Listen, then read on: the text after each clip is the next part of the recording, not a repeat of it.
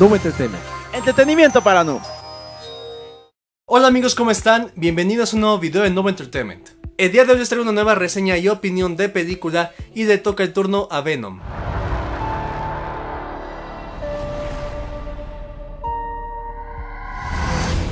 Esta nueva película del famoso simbionte de Marvel nos trae la historia de Eddie Brock, un famoso reportero que cae en la desgracia debido a un reportaje sobre la Fundación Vida, una empresa a la que se le culpaba de hacer pruebas ilegales en humanos. Y por culpa de dicha empresa queda vinculado a un simbionte llamado Venom, que era uno de los simbiontes que la Fundación Vida había traído del espacio y con los que estaba experimentando. La película ya ha tenido problemas con las críticas ya que han sido mixtas más tirándole a negativas. Esto debido entre muchas cosas a la historia floja que dicen que tiene y al humor innecesario. Así que vamos paso por paso. La película tiene una historia más que nada sencilla, es una historia de origen, que se toma bastante tiempo para irte introduciendo a los personajes y llegando al final a la confrontación importante acelera y termina. Por lo que decimos que no tiene un buen ritmo, ya que de hecho al principio se siente un poco lenta y va acelerando poco a poco, pero apenas deja unos cuantos minutos para el clímax y la parte más importante de la película, incluyendo su desenlace.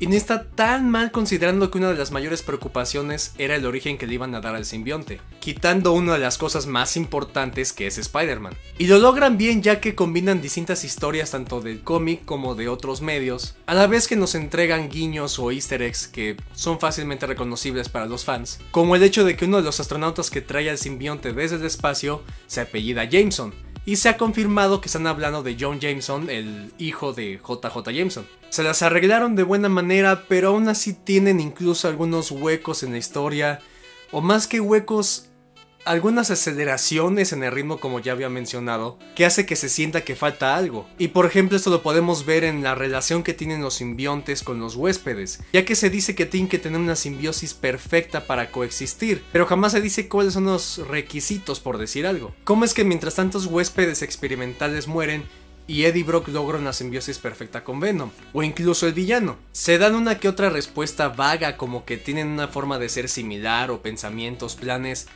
pero no termina de convencer. Y como habíamos dicho, una de las cosas que se le ha criticado tanto es el humor, ya que incluso se siente como una película del universo cinematográfico de Marvel a pesar de que es de Sony. Pero vamos con eso, el humor en su mayoría no es malo, de hecho está bien manejado.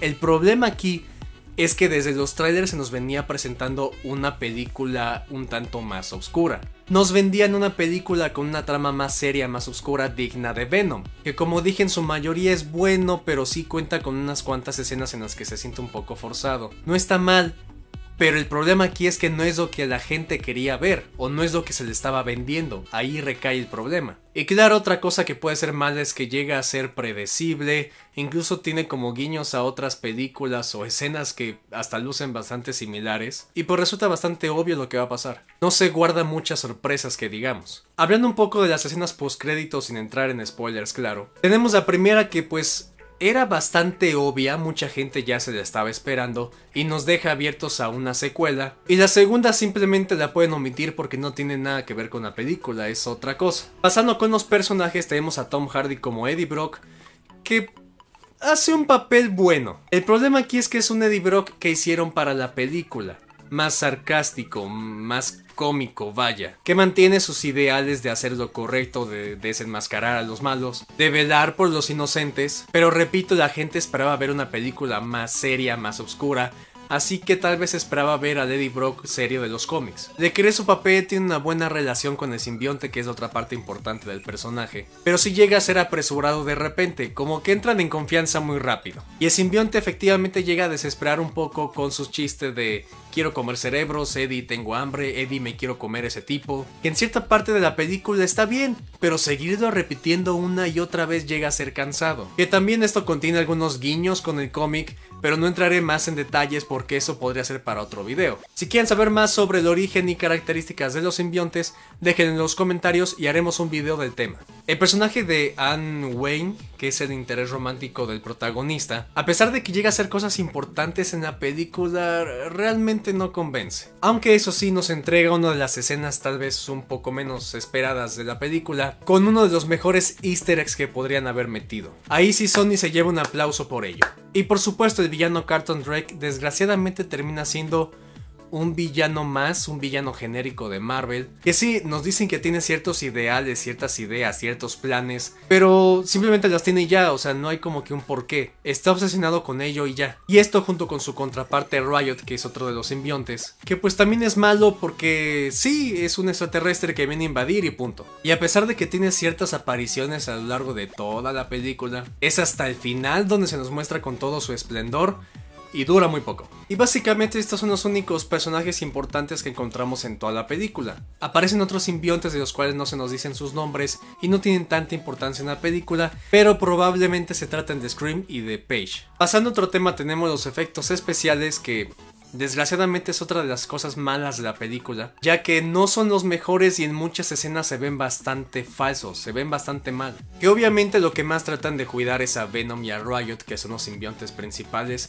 pero incluso ellos tienen sus escenas malas. También tenemos la música que de hecho no es tan destacable, va bien con las escenas pero no hay algo más importante que decir al respecto. Y ya para terminar el video y evitar hacerles un posible spoiler, Vamos con la opinión personal y calificación, que tengo que decir que no me desagradó la película, no me pareció mala. De hecho, no es mala. Es una película bastante pasable, pero sinceramente no es lo que la gente estaba esperando, yo incluido. Incluso de repente se siente que quisieron convertir a Venom en un Spider-Man que come cerebros. El humor no es malo en general, tiene sus defectos, pero no es lo que se quería. Me llegó a cansar al principio de la película, después se puso un poco más interesante, pero el final de verdad termina siendo bastante rápido, la pelea incluso irrelevante, por lo mismo de los efectos especiales llega a ser un poco confusa de repente y termina dejándote insatisfecho. Me atrevería a decir incluso que en lugar de ver al Venom de Eddie Brock, vimos al Venom de Flash Thompson tal vez. Y quizás solo destaca la actuación de Tom Hardy que pues fue una buena elección para el papel, pero no lo trataron como debía de ser. Dejando a un lado mi opinión personal y siendo más objetivo, me atrevería a decir que la película es buena, es palomera. Va a entretener incluso a los fans como yo. Y definitivamente es un Venom muchísimo mejor que el que vimos en Spider-Man 3. Tal vez se pueda decir que es el Venom que queríamos pero no el que esperábamos, algo así. No es maravillosa, pero creo que sí se podría merecer una secuela para que lo exploten aún más y desarrollen aún mejor al personaje. Así que yo simplemente voy a dejar a esta película con un 7 creo que es la calificación que se merece. Me gustó, me entretuvo un rato, pero podrían haberla hecho muchísimo mejor. Y hasta aquí el video de hoy, espero que les haya gustado. Si fue así no olviden darle manita arriba, comentar, compartir y suscribirse para nuevo contenido. Darle en la campanita para que les avise cuando subamos nuevo video. Y seguirnos en nuestras redes sociales Facebook e Instagram y una que otra red personal que les voy a dejar por aquí. Este video fue como a grandes rasgos, si quieren uno con más spoilers y analizando aún mejor la película déjenlo en los comentarios y lo haremos enseguida. Y así nada más que comentar aquí me despido, yo soy Lalo Fonseca y nos vemos en el próximo video. Hasta luego.